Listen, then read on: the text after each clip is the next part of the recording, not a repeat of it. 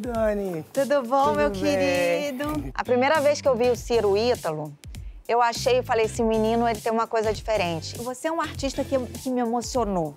O seu trabalho é muito bonito, é muito elegante, é, é muito sensível. Você, eu vejo um ator, eu vejo um, um ator que tem uma super flexibilidade e força. Eu me conectei com ela de alguma forma, assim, nas palavras dela. O que, que você acha da ideia de fazer uma coisa relacionada com cinema? Ó, por exemplo, Avatar é um filme que Avatar. Avatar, eu adorei Avatar.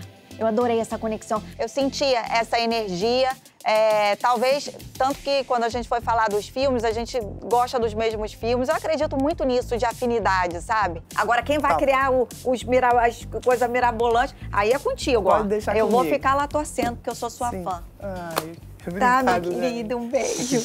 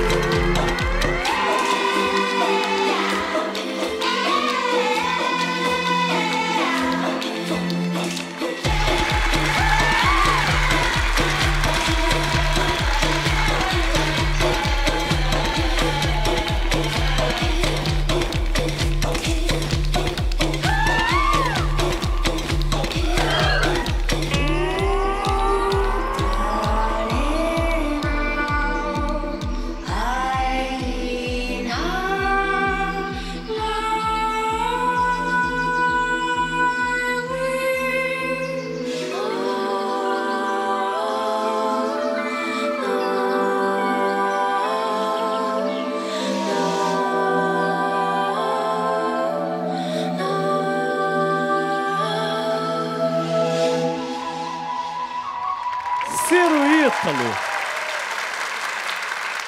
E aí, Ciro, quem está aqui?